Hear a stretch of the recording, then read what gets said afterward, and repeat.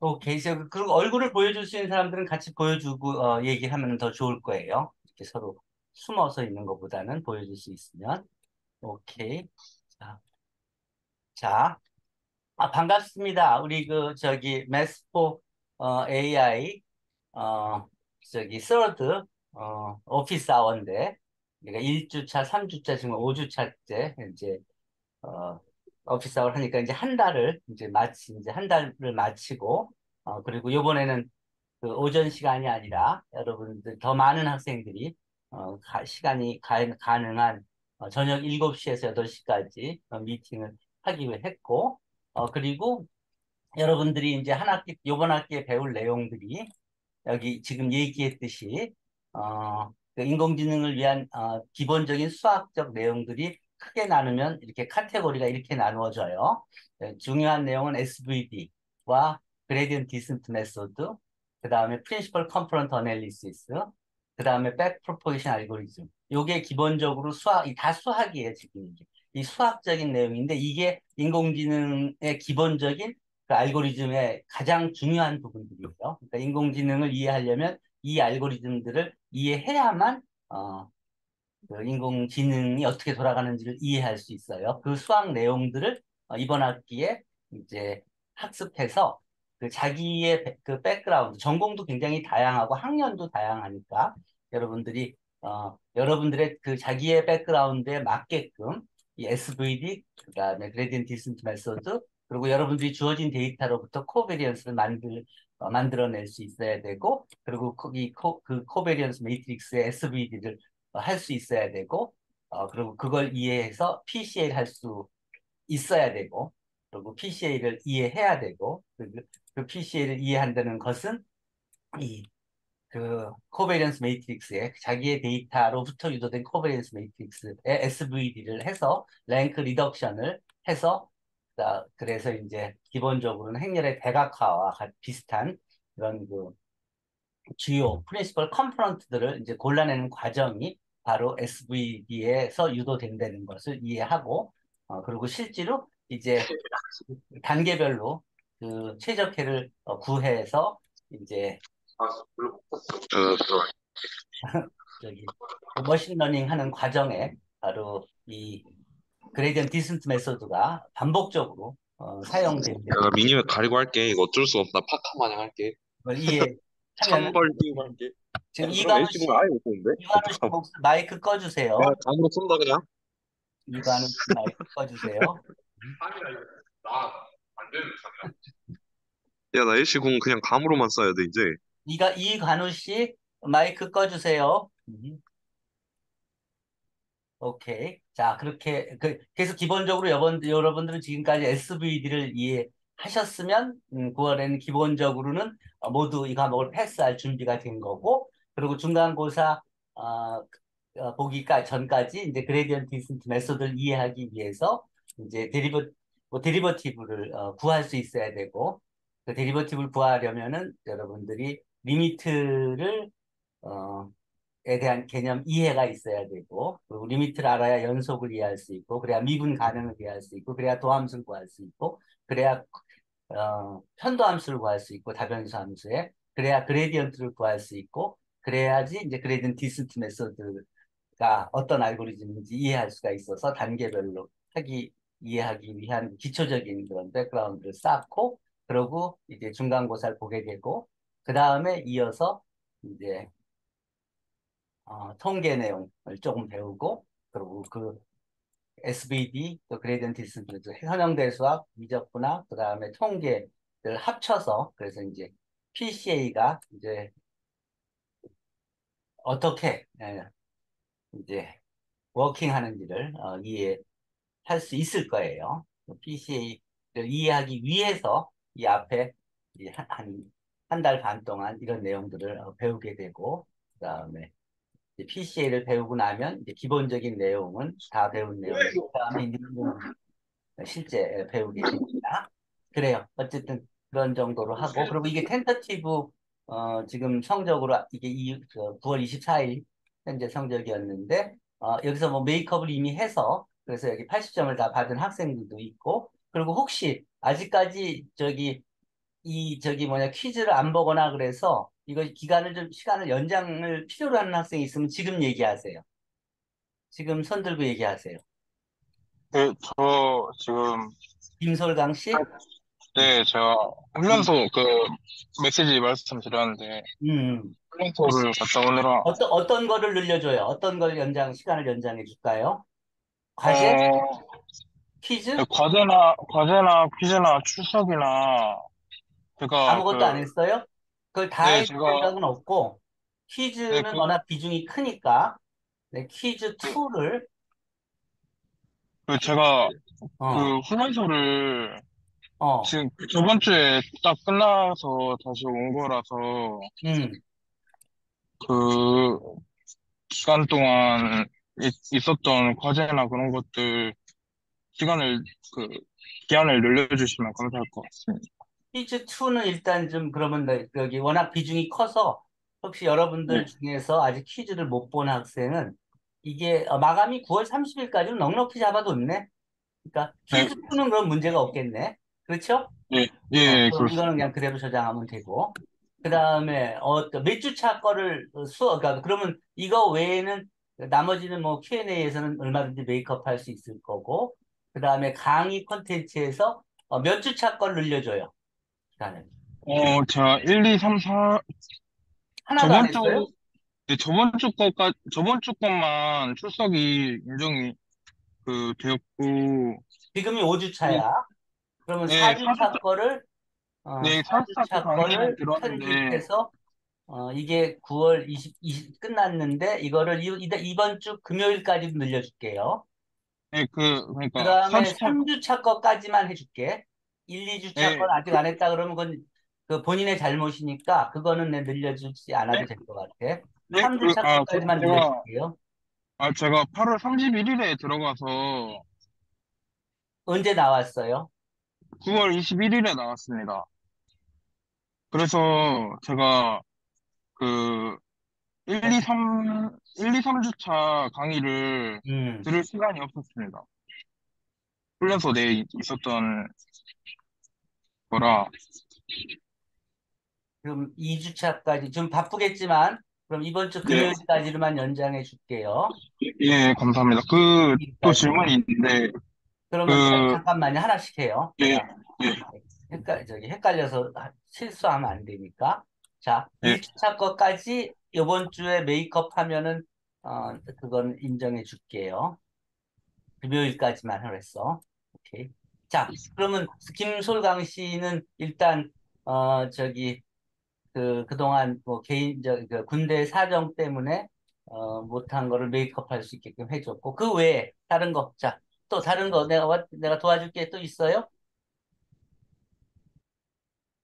지금 질문 하나 어, 되겠습니까? 다른 학, 예, 질문하세요. 김민재 씨?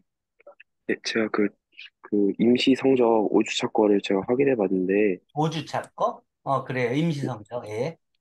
예, 근데 그 활동 점수는 혹시 제가 뭐 문의 게시판 올리고 했는데, 아, 그건 활동 어떤 점수는 아마 식으로, 조교 선생님이 그 본인 이름을, 그 김민재 예, 씨 이름을 검색했을 거예요. 예, 그 검색을 해서 그, 그 검색한, 그 했을 때 본인 이름에 나온 횟수를 아마 고려했을 걸? 그거 어, 플러스 네, 그거 예, 하고 그리고 이 강의 출석부에 보면 강의를 수강했냐는 거를 들어보면 이렇게 들어가서 검색을 하면 이런 식으로 근데 그걸 보여줄까? 그래, 내 화면 공유를 하고 내 보여줄게요. 그 어디서 나온 숫자 그거 하고 그건 본인이 다 확인할 수 있죠. 자, 어, 화면을 강의 콘텐츠를 이렇게 띄워놓고 자, 화면 공유를 내가 할게요.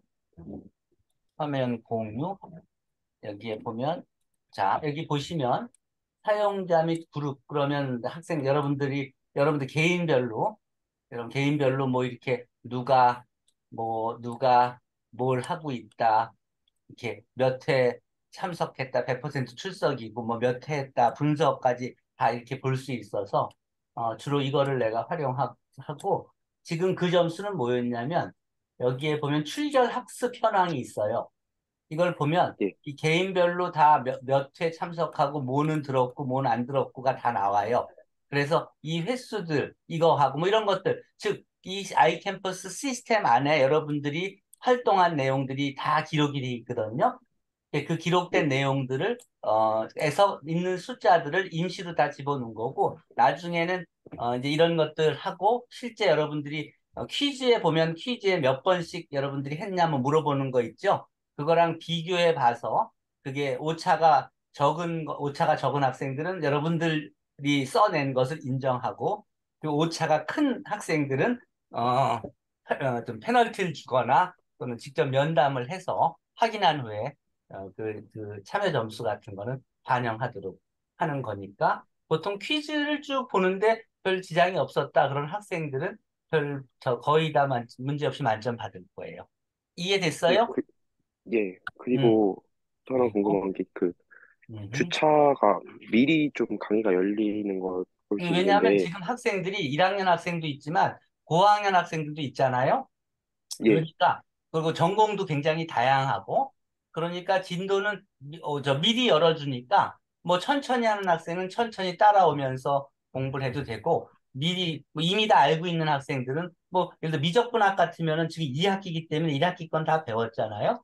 그, 그 누구라도 그거는 그러니까 뭐 사실은 싱글 베리어블 캘큘러스는 따로 안 가르쳐 줘도 되는 건데 그러니까 미리 연게뭐꼭 미리 연 의미가 아니라 그냥 쭉 앞으로 열어줘서 그 빨리 이미 알고 있는 건 그냥 빨리 쭉 넘어가라는 소리고 또 어떤 의미가 있냐면 어, 열린 문제 같은 거를 그 저기 어, 고학년 학생들이라든지 또는 어, 지금 공부에 집중할 시간이 더 있는 학생들이 먼저 어, 진도를 나가면서 문제를 풀면 그 저학년 학생들이라든지 또는 그 저기 인문계 학생이라든지 뭐 예술대 학생이라든지 또 스포츠과학대 학생 같이 백그라운드가 그 약한 학생들은 어, 다른 학생들이 미리 푼 문제를 보면서 또 다른 학생들이 미리 짠 코드를 보면서 또는 다른 학생들의 토론을 어, 보면서 쉽게 어, 캐치업을 할 수 있으니까 어, 시간이 그 저 정, 그 정규 수업 시간이 도, 마치기 전에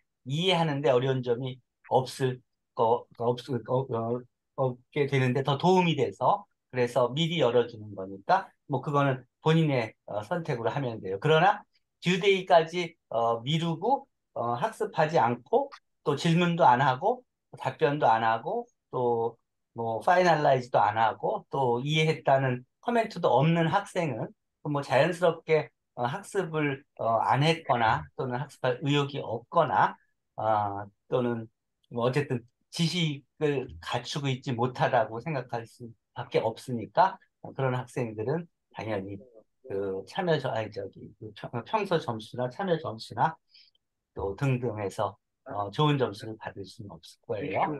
그러니까 어쨌든 자기가 어느 단계에서 어, involve해서 그 주요 개념들을 이해하느냐. 예, 그리고 궁극적으로는 이제 final이 됐을 때, final이 됐을 때 아까 얘기했던 어, 다섯 개의 core concept에 대해서 나름대로 이해하고 해보고, 그리고 그리고 해본 결과들을 정리하고, 예, 그걸 제출하고, 또 그걸 발표하고, 그래서 적어도 자기가 자기 주위에 있는 자기 정 자기 같은 학년에 같은 반에 있는 학생들, 친구들, colleague 친구들한테, classmate한테 어, 누가 물어보면 그러면 적어도 여기서 배운 그 다섯 개 core concept에 대해서는 설명해주고 또 실제로 어, 계산해보고 계산해주고 또 보여주고 어, 그리고 어, 그리고 저기 그 관- 유사한 문제를 어, 제공받으면 그거를 그 다룰 수 있는 뭐 행렬을 더할 수도 있고 곱할 수도 있고 고유값을 구할 수도 있고 SVD를 할 수도 있고 rank reduction을 할 수도 있고 PCA를 할 수도 있고 하는 어, 그런 기본적인 computation skill을 어, 갖추고 또 그거를 documentation 할 수 있고 그걸 설명할 수 있으면 그러면 어, 다 좋은 성적으로 어, 패스할 수 있을 거예요. 자, 이해됐습니까? 그러면?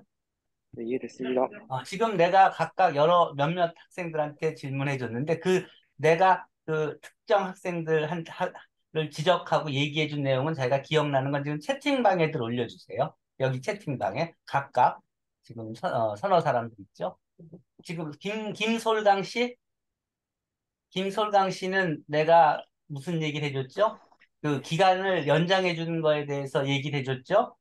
그쵸? 예, 그거에 그렇습니다. 대해서 어, 이 김솔강 씨가 나한테 어떤 어떤 요청을 해서 내가 어떻게 어떻게 해줬다. 그래서 비슷한 입장에 있는 학생들은 어, 지금 메이크업을 하면 됩니다. 하고 어, 채팅방에 올려주시면 됩니다. 지금 이줌 채팅방 말씀하시는 겁니까? 어, 예, 줌 채팅방이요. 음. 알겠습니다. 그래요. 자, 그리고 그 다음에 내가 아, 이거를 어, 저 선물로 올려줬죠. 이게 이게 이제 우리가 여러분들이 이제 기본적으로 교과서를 쭉 보다 보면 어, 학습 교과서에 있는 어, 개념이나 예제를 풀고 나면 이 연습 열린 문제들을 쭉 풀 수 있어야 되는데 여러 이거를 내 여러분들이 토론을 적극적으로 해서 내가 유심히 보면서 코멘트를 주고 그리고 정리를 해서 파일을 여기다가 이렇게 만들었어요. 이 파일을 보시면 완료가 됐죠. 파일을 그러면 공유를 공유를 중지하고 어, 화면을 공유를 이걸로 합시다. 자, 내가 화면에서 공유를 이걸 띄웠어요. 화면 공유를 이걸로 했지. 자, 내가 올려준 파일이 뭐냐면 이 열린 문제 모음을 이렇게 해줬어요.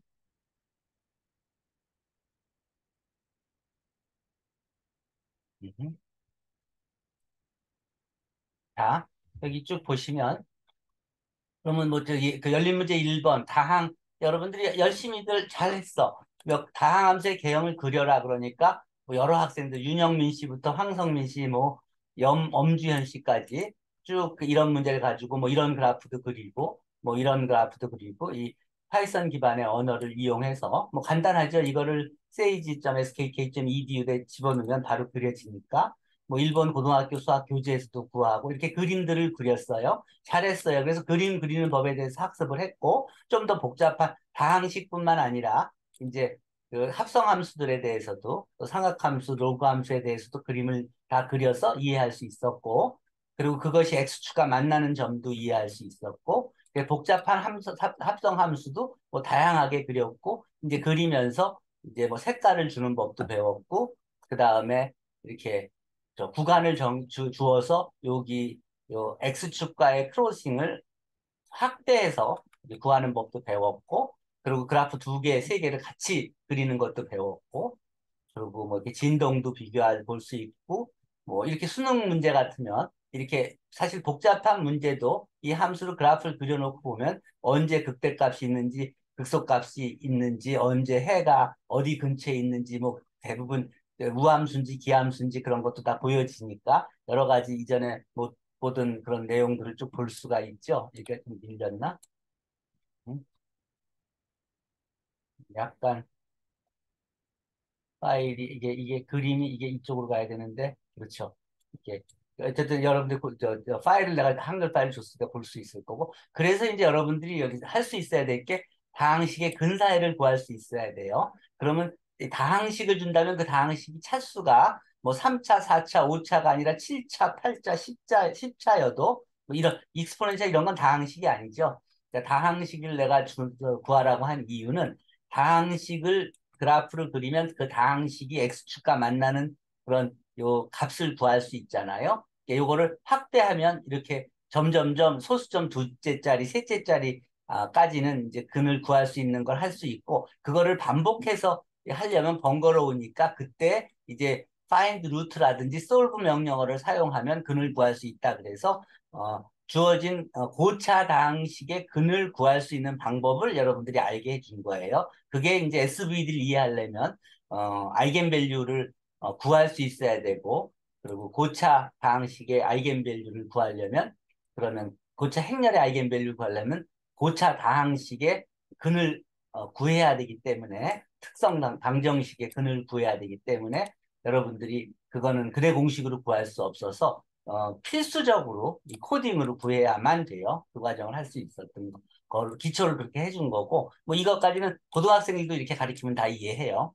그래, 그러고 이제 행렬 연산에서 뭐 덧셈, 빼셈, 곱셈 뭐 이런 것들은 사이즈가 크더라도 어, 쉽게 구할 수 있는 걸 보여줬고, 전체 행렬 구할 수 있고, 역행렬이 존재하면 구할 수 있는 것들을 해줬고, 뭐 이런 식으로 여러분들이 많은 학생들이 어, 여러 활발하게 토론하면서 다들 많이 깨우친 것 같아요.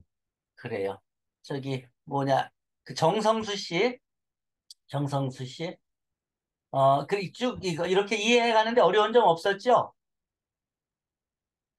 어, 마이크가 없나? 참, 그래. 그 다른, 한- 어, 마이크, 어, 그, 저기, 말을 할 수 있는 사람은 마이크를 켜도 괜찮아요. 어, 소음 없으면. 그 다음에 거리 척도를 이용해서 유사도를 계산할 수 있는, 그러니까, 그, 저, inner product를 정의하고, 이제 norm을 정의하면, 그 norm으로부터 우리가 주어진 벡터의 그 norm을 구할 수 있으면, 그 다음에 distance를 구할 수 있고, 그 distance를 이용해서 이제 데이터 사이에 뭐 키가 큰 사람들 그룹과 작은 사람 그룹을 분류할 수도 있고 나이가 많은 사람과 나이가 적은 사람을 분류할 수도 있고 그런 여러 가지 성분들이 같이 있는 거를 고려해서 그래서 구분할 수 있고 뭐 그런 것들에 대해서 실제 여러 가지 나이, 키, 몸무게가 다 있는 이런 경우에 대해서 이제 벡터를 구하고 또 벡터들 사이에 비교를 해서 그래서 이제 그 거리 척도로 예, 거리 저, 매- 저기 노름이 큰 벡터들과 노름이 작은 벡터들을 구분할 수 있는 이제 그런 것들을 배우면 이렇게 뭐 저기 뭐 부동산 가격이라든지 뭐 여러 가지 사회 문제에서도 그게 가능 비교가 가능해질 거고 이제 그런 척도 외에 이제 거리 척도만으로 유사도 판단하기 용이하지 않은 것들의 그런 데이터들이 많이 있고 그런 데이터들에 대해서는 어떤 척도가 필요한가. 그래서 이제 뭐 거리 척도에서도 이렇게 여러 가지가 있지만 그런 경우에는 이제 거리 척도 외에도 이제 코사인 어, 유사도라는 어, 그 앵글을 이용한 방향성이 같은 비슷한 유사한 그런 척도에 대해서 하는 거. 여러분들이 다 풀었어요 이미 다. 이제 그런 것들 채워 넣어서 이런 사실은 이거 이런 식으로 이걸 좀 더 개선해서 여러분들이 이름이 이렇게 있는 것들만 골라서 그래서 저 집어넣어 주면 돼요. 자, 지금까지 내가 얘기한 내용에 대해서 송재경 씨, 송재경 씨가 정리해서 내가 지금까지 한 얘기들, 그러니까 지금까지 배운 것들 정리해서 설명해 줬다고 좀 채팅방에 써주세요. 오케이? 송재경 씨. 그 다음에, 어, 다음, 어, 다음에 최, 어, 저기 누구야? 정서윤 씨? 정서윤 씨? 네. 어, 그래요? 자, 이 지금 내가 지금 얘기하는 얘기 굉장히 중요한 얘기입니다. 어, 여러분들이 그 이 다음 퀴즈에는 그 칠, 이게 수석 끝나고 어, 7주차 퀴즈가 되죠, 아마? 그래서 7주차 퀴즈가, 어, 6주차 퀴즈가 되죠. 5, 6주차. 6주차 퀴즈는, 에서는 어떤 걸 물어볼 거냐면, 이, 저기, 그, I fully understood 하고 답한 게 몇 개다는 걸 퀴즈 문제로 낼 거예요. 오케이? finalize를 본인 스스로 finalize 오케이를 받은 거, 즉 여기에 본인 이름이 있는 거 개수를 물어보는 문제와 또 그 내가 fully understand 한 discussion이 몇 개라는 거를 개수를 적어 넣는 문제가 날 거예요. 그래야지만 그런 것들이 어느 개수를 넘어서야만 어, 다음 세 번째 퀴즈에 만점 받을 수 있을 겁니다. 정서윤 씨 이해됐어요? 네. 음, 그거를 그 저 채팅방에 공유해 주세요. 지금 내가 한 얘기를. 오케이? 그래서 다른 학생들도 어 저기 이해할 수 있게. 그래서 퀴즈 다음 퀴즈를 이제 수업 끝나고 준비할 수 있게요. 자, 그 다음에 어, 정, 어, 정 어, 황성민 씨, 황성민 씨, 황성민 씨. 자, 네. 이제 그 다음에 행렬에 가서 이렇게 연립방정식을 연립방정식의 해집합을 구하는 문제들을 학습했죠. 이게 굉장히 네. 중요한 문제라는 걸 이해하죠. 굉장히 중요한 문제라는 걸 이해하죠. 그 여러분들이 그렇지만 이전에 배울 때는 이 그 연립방정식의 해 전체 집합이 해 집합이 엠프티 셋일 수도 있고 그리고 싱글턴 셋일 수도 있고 유일한 해일 수도 있고 또 무수히 많은 해를 가는 해 집합일 수도 있죠. 그 어떤 경우든지 다 집을 이 해 집합을 찾을 수 있어야 돼요. 그렇죠? 그걸 손으로 구하는 것들은 이게 조금만 커지면 다 거의 불가능해지기 때문에 결국은 코드를 이용해야 되는데 그래서 내가 설명해 준 이 코드를 그 right kernel 코드를 이용하면 이 homogeneous corresponding homogeneous linear system of equation의 해집합의 기저를 구할 수 있으니까 그걸 이용해서 이렇게 표현하는 법 이해했죠? 황성민 씨? 아, 예, 이해했습니다. 이게 분명히 표시해야 되는 게 이게 해들의 집합이잖아요. 해 모양은 이런 벡터들이죠. 요 벡터는 요 particular solution plus 요 저기 호모지니어스 시스템의 해 기저 기저들의 1차 결합들을 더해주고 따, 여기 점이 두 개 있어야 돼요. 따따. 여기서 쓴 R과 S는 어, 실수의 안에 실수의 일부다. 실수 안에 있는 실수 집합 안에 있는 엘레멘트다. 해서 가로로 닫아준 요런 벡터들의 집합이 S다. 이게 해집합이라는 걸 정확히 써야만 돼요. 그 과정이 여기 설명된 거예요.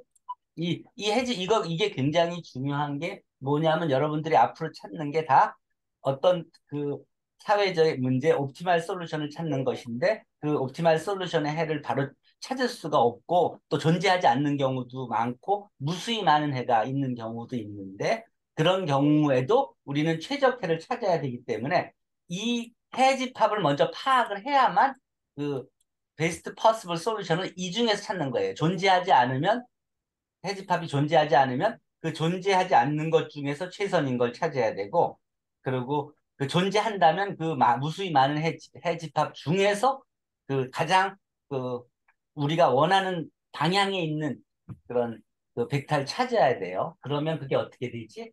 그게 이제 그거에 필요한 개념이 뭐냐면 프로젝션 정사형이에요.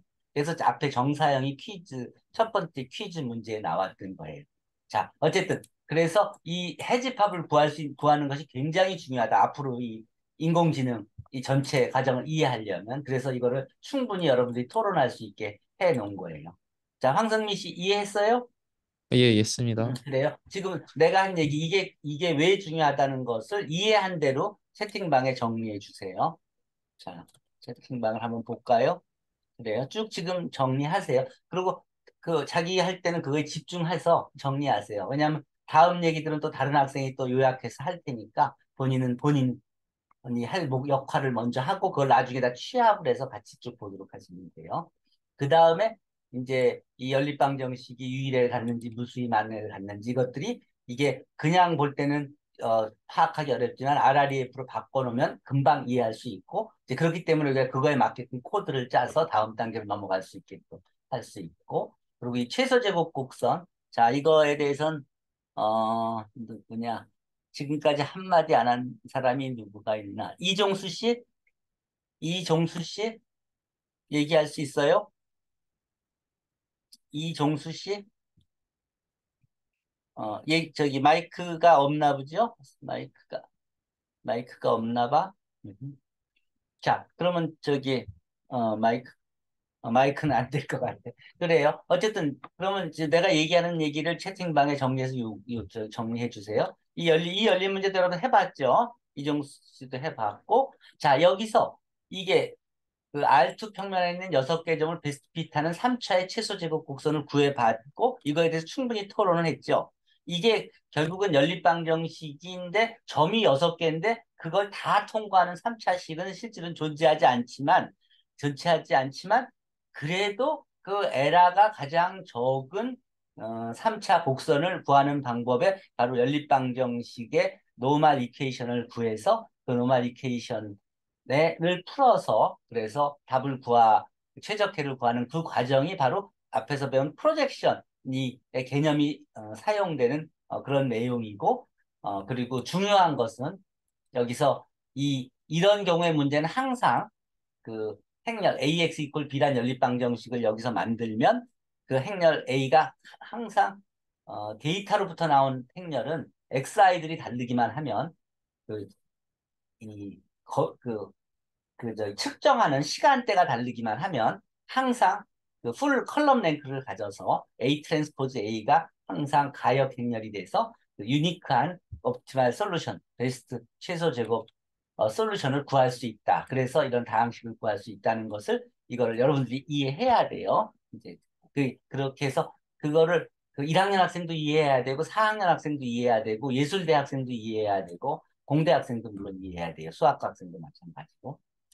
그래서 이게, 이게 이런 개념 이게 굉장히 중요한 게 앞으로 여러분들이 그 인공지능 그 컴퓨터한테 뭘 시키면 해가 항상 존재하는 문제를 줘야 되고 또 그리고 알고리즘도 제공해야 되는데 이제 이런 어, 게 바로 해가 존재하지 않는 경우도 이제 베스트 퍼스블 솔루션을 찾아주는 이런 알고리즘들이 수시로 사용되기 때문에 여러분들이 이해해야 돼요. 그래서 최소 제곱해를 이제 구하는 문제들을 여러분들이 토론해서 뭐 합계 출산율에 대한 데이터도 했고 여기에 황성민 씨도 기여를 했고 또 김철 씨, 이관우 씨, 뭐 최시원 씨 등 다 기여했는데 굉장히 중요한 문제예요. 그래서 이제 선형 연립방정식을 보면 뭐 다른 책에 있는 간단한 데이 문제들은 바로 풀릴 거고 이렇게 일반적인 사회 social 데이터들을 가지고 복- 굉장히 복잡하고 라- 그 large size한 데이터, 이 데이터 점이 뭐 10개 정도가 아니라 100개, 1000개, 만 개, 뭐 또는 뭐 몇만 개 있는 경우도 그 저 결국은 코드는 우리가 다 알고 있으니까 임- 데이터만 입력하면 다 어, optimal solution을 찾아줄 수 있다는 걸 이해하게 됩니다. 이렇게 점이 수백 개 있어도 바로 어, 최적해를 찾아낼 수 있다는 것을 뭐 부동산 데이터를 가지고도 할 수 있고 이게 이제 정부 public 그 데이터 포탈이 있잖아요. 정부의 데이터 시스템이 있잖아요. 그 정부 데이터 시스템에 있는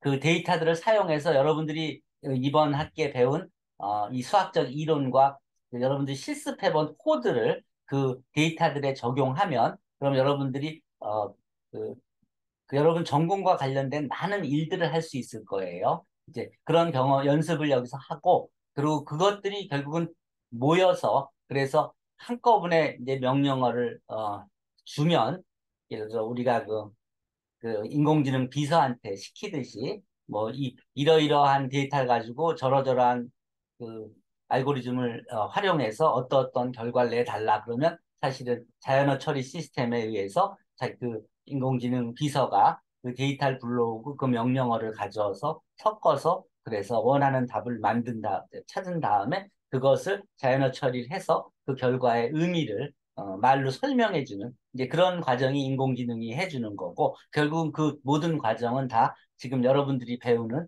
이 어, 그- 이 알고리즘과 이 수학적 이론과 어, 여러분들이 찾죠. 하- 여러분들이 가지고 있는 데이터들을 어, 결국은 이, 알, 이 코드들을 이용해서 어, 구현시키는 어, 그런 어, 내용이라고 이해하시면 어, 돼요.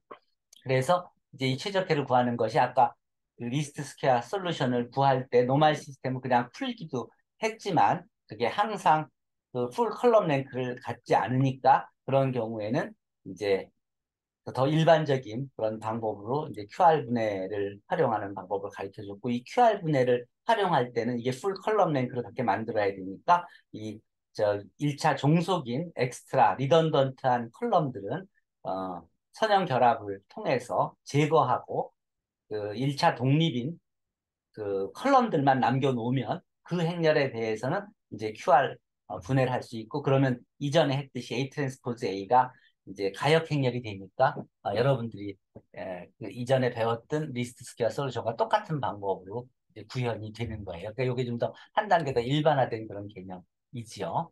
근데 이런 모든 내용들이 결국은 SVD로 가면 그런 1차 독립이나 이런 거를 하지 않고도 1차 종속인 column을 걸러내지 않고도 그냥 바로 그, 그 행렬의 대각화와 같은 유사한 그런 어, 분석이 가능하기 때문에 지금은 이런 앞에 배운 이런 내용보다 이 SVD로 거의 다 처리할 수 있어요. 앞에 모든 eigenvalue를 구하고 eigenvector 구하고 하는 것도 이 SVD 하나 가지고 여기서 singular value를 구하고 singular vector를 구하면 그것이 그 행렬의 대각화를 임의의 사이즈, 정사각 행렬이 아니라 m by n 행렬에 대해서 다 그, 그 일반화된 그런 어, 행렬의 대각화를 해주기 때문에 이 지금은 인공지능에서는 다 이 SVD를 통해서 그냥 해요. 좀 더 이론적으로나 깊이 들어가야 될 때는 이제 특별한 케이스로 어, 정리해서 SVD보다 더 정확한 그런 알고리즘을 사용하지만 보통의 경우는 그냥 그 데이터로부터 그 rectangular 행렬, m by n 행렬을 만들고 이제 그래서 그 저기 행, 그 데이, 원래 문제를 어, 선형 linearization technique을 이용해서 AX equal B라는 연립방정식 문제로 바꿔주고 이제 거기다가 이제 행렬의 SVD를 적용하고 그래서 rank reduction을 하고 이제 그리고 그 다음에 우리가 필요한 수학적인 그런 그 분석을 한 다음에 이제 거기서 답을 얻어서 그래서 축을 행렬의 대각화 개념을 활용한 그 축이동을 해서 주요한 새로운 component들 PC 1, 2, 3를 찾아서 이제 그거를 이제 분석해서 그래서 우리가 원하는 그런 결론을 아주 짧은 시간에 얻어내는 거예요. 컴퓨터가 그 일을 우리가 수학적인 어, rank reduction만 잘 해줘서 사이즈만 우리가 가지고 있는 컴퓨터가 적용할 수 있게끔 해주면 쉽게 해결해 주니까. 이제 그렇게 해서 그게 요번에 이제 9, 저 9월 달에 여러분들이 학습해야 될 내용이에요. 여기까지 이해했으면 어, 여러분들은 다 어, 좋은 성적으로 어, 9월을 보낸 어, 패스한 셈이 되고 이제 이어서 이제 2주 동안 이제 학습을 해서 미적분학 여러분들이 이미 고등학교 때부터 배운 내용이죠. 대학교 때 다 배운 도함술 구하고 그 다음에 그 도함술 구해서 그 어, 접선을 구하고 그 접선을 구해서 접선이 x축과 만나는 값을 구하고 이제 그런 과정을 어, 통해서 근을 구하고 하는 알고리즘을 더 개선해서 다변수 함수의 이제 gradient를 구하고 그리고 점점점 이제 그 local minimum으로 어, 수렴해가는 어, 알고리즘, 인 gradient descent method를 활용해서 이제 로컬 미니멈을 어, 찾는 알고리즘을 이제 학습하는 게 이제 중간고사까지라고 이해하시면 돼요. 그래서 경사과거까지 쭉 진도를 나가시면 어, 무사히 마치는 거고 이제 그러고 나서 여러분들이 그걸 보고서로 여기까지 학습한 내용들을 이제 보고서에 집어넣고 그다음 자기 평가, 동료 평가 해서 그래서 그것을 이제 제출하고 어 그리고 그것이 자신이 그리고 그거를 어, 가능한 사람들은 그거를 이제 뭐 10분에서 15분 사이에 동영상으로 녹화를 해서 그 발표 내용을 제출하면 어, 그러면 어, 성공적으로 어, 중간고사를 아, 치른 셈이 될 겁니다. 이제 그리고 중간 그러고 나서 이제 우리가 8주 차에는 가능하면 어, 시간이 되는 사람들은 제출한 학생들 중에서 어, 만나서 실제 그것이 본인이 어, 이해하고 또 발표한 건지 어, 질문하고 어, 답변하면서 어, 검증해서 그래서 어, 충분히 이해하고 있다고 생각하면 그러면 어, 동료들이 인정해주면 그러면 그 학생들에게 어, 베스트 퍼스블 한 그런 어, 그 크레딧을 어, 제공할 거예요. 이제 그러고 나면 이제 그 저기 중간고사 이후에는 이제 gradient descent method를 좀 더 집중해서 한 번 더 cover한 다음에 이제 통계학 내용으로 들어가서 이제 데이터의 뭐 평균 분산, 뭐 표준 편차 등부터 시작해서 분포 조금 이해하고 그다음에 이 조건부 확률에 대해서 음, 이해를 한 다음에 그 다음에 이 공분산 행렬에 대한 설명을 해줄 거고 그 다음에 이제 뭐 회귀 분석 조금 내용하고 이제 그래서 여러분들이 여러분들의 전공에서 사용되는 데이터들의 공분산 행렬을 구할 수 있게 되면 이제 그 다음에 이제 마지막 단계 이제 PCA와 Artificial Neural Network을 이제 학습하면 그리고 그것들을 같은 식으로 이제 정, 정리해서 어, 제출하고 발표하고 평가받으면 그러면 이번 학기가 끝나게 되겠습니다. 그래서 쭉 그냥 일단 모아놓은 것들 하는데 시간 많이 썼어요. 이 시간을 많이 써서 정리해 줬으니까 여러분들이 참고해서 어, 보고서를 정리하시면 될 겁니다. 자, 그러면 지금 내가 한 얘기는 어, 정, 어, 그, 어, 그래요. 음, 그래요. 바- 발표를 음성 녹음으로 여러 사정들이 있네. 사정 고려할게요. 그러니까 부대에서는 카메라를 사용하면 안 된다. 그러니까 뭐 어쨌든 그런 것도 사정이 있으면 얘기하세요. 고려할게. 자, 지금 내가 한 얘기를 어, 이종수 씨, 이종수 씨 또는 정성수 씨가 지금 내가 한 얘기들이 이 중간고사까지 또 그 다음에 중간고사 이후 에 대해서 어떻게 한, 할 건지 설명해 준 거니까 어, 그대로 하시면 여러분들 이번 학기에 어, 성적도 잘 받고 또 실제 어, 여러분들 평생 어, 활용할 수 있는 그런 지식들을 어, 갖추는 데 도움이 될 거예요. 자, 지금까지 내가 설명한 거에 대해서 어, 이 저기 궁금한 이해 안 되는 거라든지 있으면 주저없이 질문하십시오. 자, 그래요. 자, 질문하 질문하세요. 궁금한 거 교수님, 그 네. 발표가 그 PBL 보고서를 바탕으로 이제 하는 걸로 알고 있는데, 음, 자기 PBL 보고서의 중요한 부분들을 10분에서 15분 정도 어, 발표해서 녹화해서 제출하시고 그 다음에 이제 그 다음에 이제 그 다음 일은 저기 내가 그 중에서 그 저기 발표할 사람들을 시간하고 배정해 주면 가능한 사람들 발표하시면 돼요. 한번 더 동료들 아. 앞에서 발표하시면 돼요. 그 발표하시는 건 이제, 그러니까 이제 군대에 있으면 이제 온라인으로 진행하는 게 맞는 건가요? 네. 있으니까. 군대에 있으면은 나도 군대에 있는 학생들은 어, 저기 사정은 잘 모르지만 모르니까 어쨌든 원칙은 그런데 뭐 그 군대 사정이 어떤지 상황 봐서 어, 그건 처리하도록 할게요.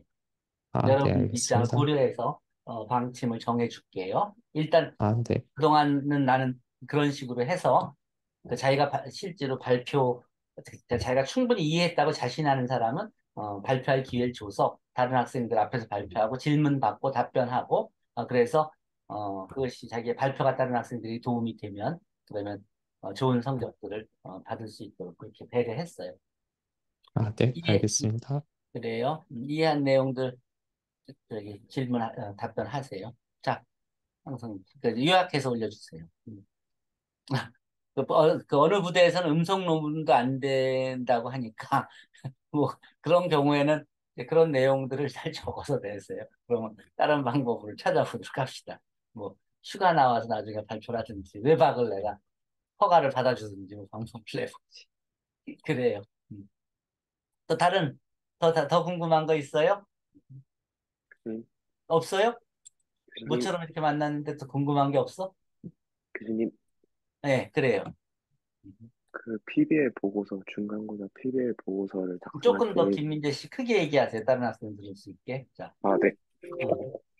중간고사 PBL 보고서를 작성할 때, 네, 예, 그, 일단 기본 바탕은 문의 게시판에 제가 활동했던 내역들을 가지고 작성을 하되, 이제 보고서 작성을 어, 하면서 그래. 추가할 내용을 추가해도 되는 겁니까, 혹시? 네, 어떻게 하면 되냐면, 예를 들어 김민재 씨 같으면, 자, 내가 화면 공유할게요. 화면 공유를 이렇게 하면, 자, 여기 김민재 씨 같으면 여기에 김민재라고 본인이 검색할 수 있죠. 그렇죠? 네, 본인 이름을 검색을 하면 여기 이 중에서 여기에서 김민재가 final 김민재가 한 내용들이 몇 회인 게 있죠. 나오죠. 네. 그렇죠? 네. 그 중에서 final OK by SGLee에 본인 이름이 있는 것들만 쭉 모아서 내면 돼요. 그럼 그, 그 양과 질이 여러, 저, 여러분의 기본 성적이에요. 꼭 무슨 final OK가 있어야 되는 거.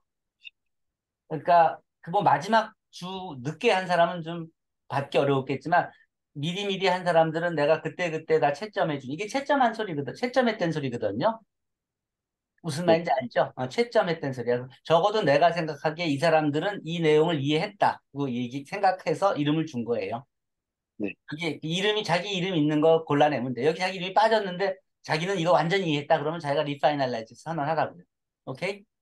네, 알겠습니다. 그래요. 그렇게 해서 음, 그 퀴즈에 그, 그렇게 물어볼 거예요. 그러면 그렇게 보면 자기가 퀴즈를 만점 받은 학생들은 되게 충분히 양이 있으니까 그걸 모아서 제출하고 제출하면서 final 저 comment들을 써서 저는 이거 이해했습니다. 저는 이거 이 문제 이해했습니다.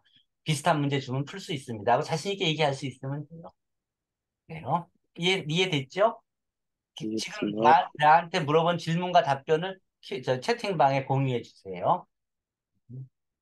그 다음, 그래요. 그 다음, 내가 무슨 얘기를 해주고 싶었더라? 무슨 얘기를 해줘, 해줘야 된다고 생각한 게 있는데, 또 질문하세요. 네, 그, 그, 그, 저기, 기억날 테니까. 그 얘기 좀. 교수님 들리십니까? 음, 들려요. 얘기해서요. 어, 저 질문이 하나 있는데, 그 질문하세요. 정우, PBL 보고서, 음, 어, 그렇습니다. PBL 보고서 쓸 때 이제 finalize 된 그 이름 들어가는 것들을 쓰시라, 쓰라고 하셨는데, 네. 혹시 이제 저기 이름 안 들어가 있지만, 저런 거 보고, 어, fully understand 했다고 그런 코멘트 남긴 것들에 대해서는 따로 이제 뭐 보고서에는 쓸 수 없는 건지 아, 여쭤보겠습니다. 그러니까 finalize를 못 받거나 자기는 중요하다고 생각했는데 아무도 답변을 안 달거나 또는 내가 그 저기 지나쳤거나 뭐 시- 그 계속 너무 오래돼서 이렇게 계속 새로운 얘기들을 하니까 그러면 다시 그, 그 중요하다고 생각하면 다시 꺼내 놓으세요. 다시 윤문해가 그리고 다른 친구 보고 이거에 코멘트 좀 부탁합니다. 이렇게 달고. 아무도 답을 달지 않는 문제는 별로 중요하지 않은 또는 그, 그, 그, 아무도 답변을 안 달거나 그런 것들은 나도 별로 관심 갖지 않거든. 무슨 말인지 알죠? 아. 그럼 질문 자체가 틀렸거나 알아볼 수도 없는 말을 했- 했고 뭐 엉뚱한 말을 한 거기 때문에 그러면은 그런 거는 별로 답을 주기도 어려워. 음. 근데 어쨌든 자기가 한 것이 대해서 누가 코멘트를 주었으면 내가 그 코멘트가 맞는 코멘트인지 아닌지 이제 잘못된 답을 준 건 아닌지는 내 유심히 보고 어, 고쳐주니까 이제 그렇게 하고 그거를 뭐 final 선언을 하라고 하든지 그렇게 하니까 나든지 우리 조교 선생님든지 그렇게 하니까 그렇게 하세요. 그 아무, 아무도 답이 없다 그러면 다시 꺼내놔서 이거에 꼭 좀 답을 주십시오. 아무도 답을 안 주면 여기서 A 플러스를 받을 것 같은 그런 사람들 이름이 있잖아요. 그 사람 보고 누구누구 씨 이거 내 말이 맞는지 확인 부탁합니다 하고 제목에다가 그 사람 이름을 줘서 질문해 버리세요. 오케이? 그러면 알겠습니다.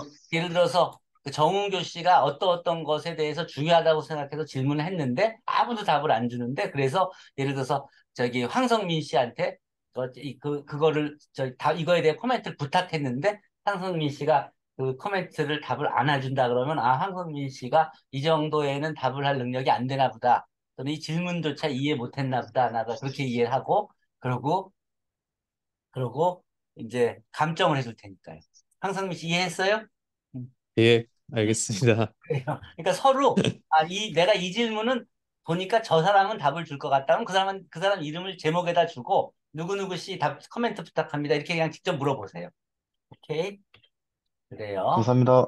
음, 그래요. 네, 또 다른 거. 일. 어, 저 교수님, 네네. 음, 그 중간고사 리포트 음. 그거는 이제 몇 주 차에 제출을 하면 될까요? 어, 보통 6주차, 7, 6주차에 퀴즈, 5, 6주차에 퀴즈가 있을 거예요.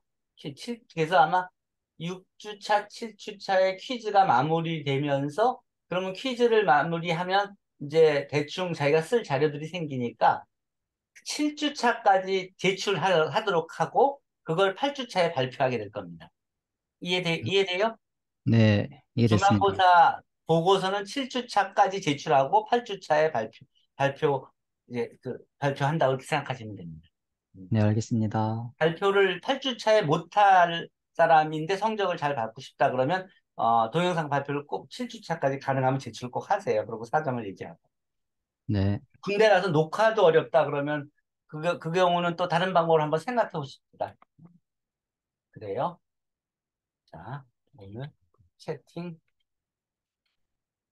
내용, 내용, 요약. 네, 하고, 저장하고, 자, 또 다른 거 질문, 더 질문하세요. 얼터, 프린트 스크린. 자, 더 궁금한 거 없어요? 그러니까 뭐 그러니까 성적이라든지 뭐 이런 거에 보통 학생들이 관심이 많을 텐데 뭐 더 자기가 저기 그 실력도 쌓고 좋은 성적도 받고 또 뭐 포트폴리오도 만들고 싶고 뭐 그런 뭐든지 뭐 얘기하세요. 네, 얘기하면 내가 도움을 줄게. 또 다른 게 뭐 있다. 그리고 PBL 보고서 그 저는 양식은 내가 이미 다 줬잖아요. 다운받을 수 있게. 그거 보시고 더 궁금한 거 있으면 물어보세요. 여기에 그 저기 뭐냐 소, 어, 송윤후 씨 얘기할 수 있어요? 송윤 어, 송윤우 씨가 PBL 보고서 그, 미, 어, 피- 그 미드텀 PBL 보고서 양식 다운 받아 봤습니까? 예, 다운받았습니다. 다운 받아 봤으면 그거를 요번 학기에 맞게끔 좀 손볼 수 있죠. 2022학년도 가을 학기 매스포 AI 코스 PBL 보고서랑 고칠 수 있죠. 예, 고칠 수 있습니다. 그렇게 하고 뭐그 대충 요번 학기에 맞게끔 조금 손을 봐서 그걸 Q&A에 저기 새 버전을 올려줄 수 있겠어요?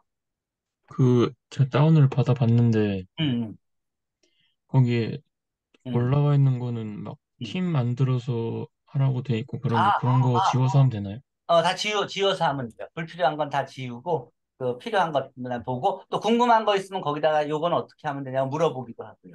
그리고 예. 여러분들 어차피 온라인이라서 이걸 따로 저기 저거 하는데 그거가 있다. 중간 고, 저 보고서에 미드텀 PBL 보고서에는 뭐가 있냐면 어 뭐가 내 말 들려요? 음. 어 뭐가 있냐면 음 뭐가 있더라? 프로젝트 프로포절이 있어요. 근데 그거는 그냥 실제로 여번 그 여러분들은 그 저기 군인이고 뭐 하니까 프로젝트를 하기가 쉽지 않을 거니까 그리고 또 일반 학생들도 시간이 온라인으로 하면서는 쉽지 않으니까 그냥 제안서만 쓰면 돼요. 나는 어떤 제목으로 어떤 내용을 연구하고 싶다. 자기 전공과 관련돼서 지금 배우는 내용하고 연결시키고 또 참고 문헌은 어떤 어떤 것을 이용할 것이다. 한 페이지 제안서만 쓰면 그게 아마 10점일 거예요. 그러니까 제안서를 어, midterm에 보고 포함시켜서 하시고 마지막에 다 보고서를 완성한 다음에 final 코멘트를 그 midterm에 대한 코멘트를 한 반 페이지 정도 쓰시면 돼요. 그래. 그, 그 정도로 합시다. 다른 거. 그래요. 또 다른 거. 음. 또 다른 내용. 자, 더 궁금한 거 없습니까? 교수님, 시간이 이제 5분쯤 남았나? 어, 그래. 얘기하세요. 음, 그 얘기하세요. 과제는 그 어떻게 내 과제, 음, 과제함을 만들어 줄 거예요. 아, 네. 과제함을 만들어 줄 거예요. 그 과제함에 제출하시면 됩니다. 아, 네, 그- 알겠습니다. 음, 그렇죠. 중간고사 과제함을 만들어 줄 거예요. 그럼 거기다가 제출하시면 돼요. 예. 네. 그 보고서 먼저 제출하고 그다음 걸 발표한 다음에 동영상을 거기다 추가로 같이 제출하면 돼요. 예. 뭐 그리고 여러분들이 바쁘거나 불가능하면 뭐 하나만 올리고 사유를 올려주세요. 그러면 내가 읽- 읽어보고 어, 이해가 되면 어, 그냥 기본 점수 줄게요. 자, 또 다른 자, 그런 내용들 추가하세요. 음. 자, 또 더 궁금한 거 있으면 얘기하세요. 자, 지금부터 더 궁금한 거 있으면, 그러니까 시간이 이제 어 10분, 9분 남았으니까 그동안 채팅방에 궁금한 거 다 물어보세요. 그럼 내가 끝나고 나서 그거를 답변을 다 정리해서 어, Q&A 올려줄게요. 자, 오늘 자 그럼 시- 지금부터 남은 부분 동안 오늘 그 우리가 50분 동안 그 질문하고 답변하고 내가 그동안 한 달 동안 배운 내용과 또 앞으로 한 달 동안 배운 내용 요 설명해 줬잖아요. 이제 그런 거 기억나는 것들을 다 그 채팅방에서 쓰거나 또는 기억 저, 저기 듣긴 들었는데 감- 중요한 것 같은데 가물가물한 거 확인하고 싶은 건 다시 물어보거나 또는 오늘 얘기하지 못했는데 더 궁금한 거 있으면 어, 물어보세요. 자, 물어보도록 하세요. 채팅방에 다 얘기하도록 하세요.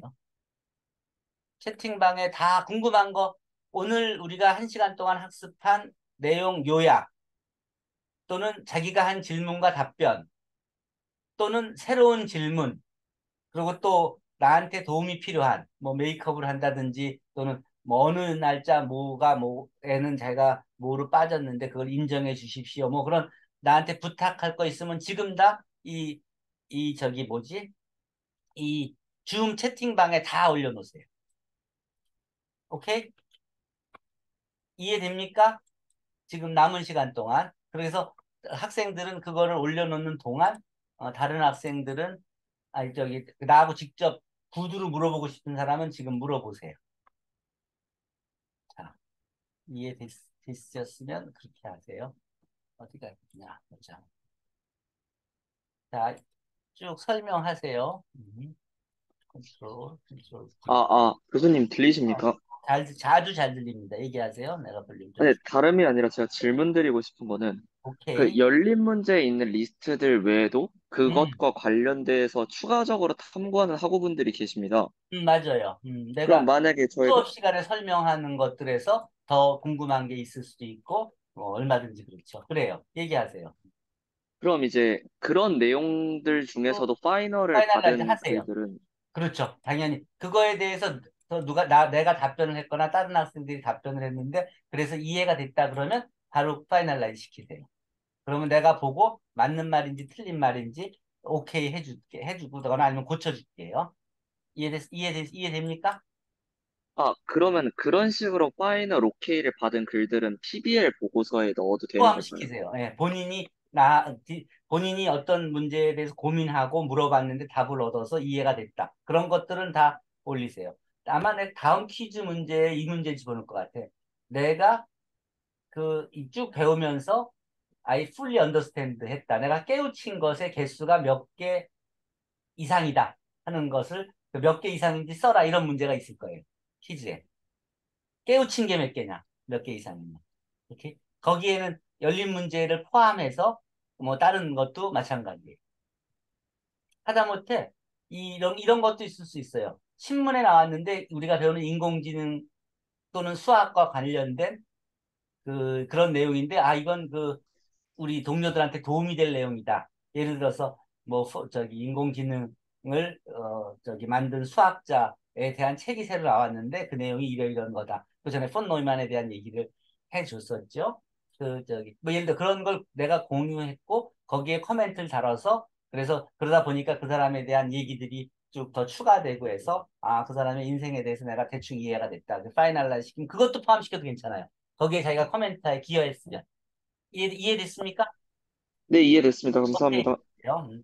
그런 식으로 어떤 학생들은 문제 푸는데 집중할 수도 있고 어떤 학생들은 코딩에 집중할 수도 있고 어떤 학생들은 그런 그 주, 주변 데이, 사회적인 social 데이터들에 대해 관심을 가지고 기여할 수도 있고 어떤 사람은 뉴스에 관련된 것들을 할 수도 있고 나름대로 다 자기 능력들 발휘하시면 돼요. 이승민 씨 이해되죠? 네, 이해됩니다. 음, 오케이 그래요. 자 그럼 그러면 질문한 내용들 좀 보고 내가 답을 지금 구두로 줄게 그거에 대해서 여러분들이 다시 어, 채팅방에 답 답을 달아주세요. 자 보자. 어 여기서부터 시작하죠.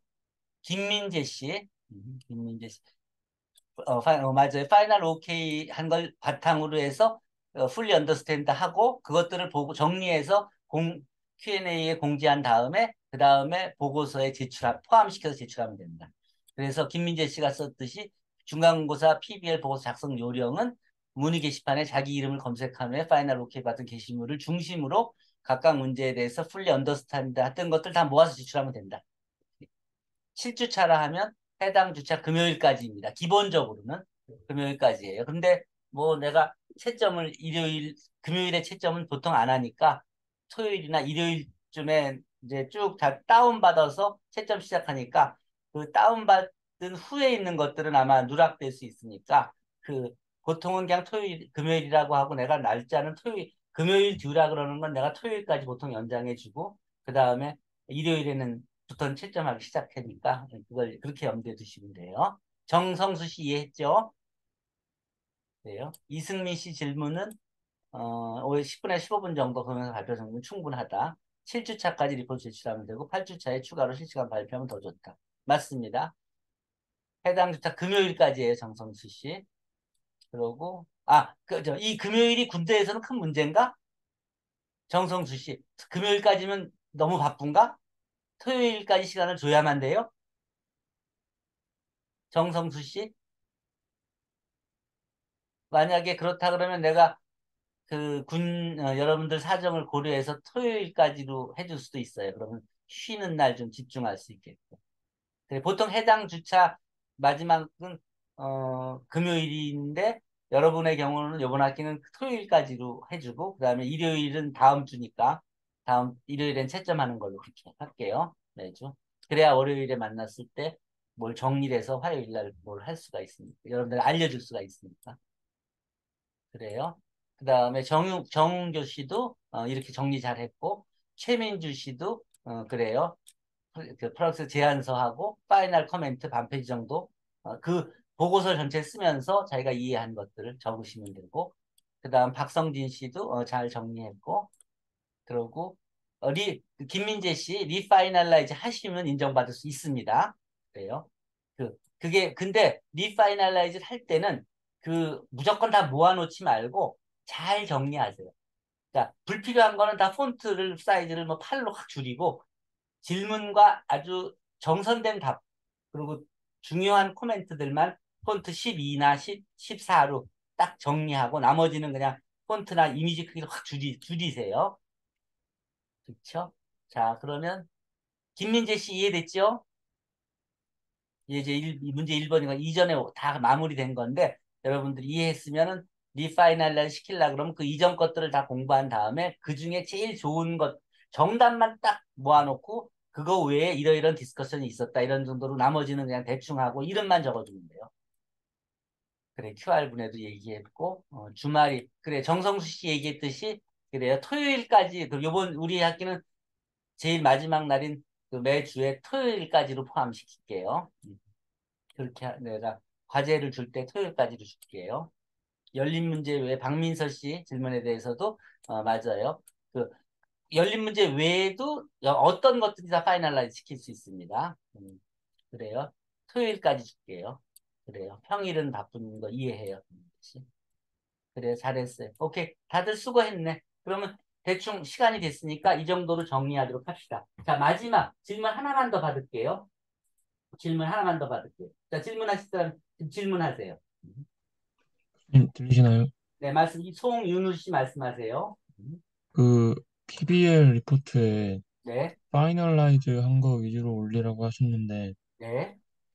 이 다른 학우들이 올린 게시물에 음. 코멘트 달거나 그런 거는 올리면 안 되는 건가요? 코멘트를 달았을 때 그게 유의미한 코멘트면 그거를 그 누군가는 본인 이름을 거기에 포함시켜 줬을 거예요.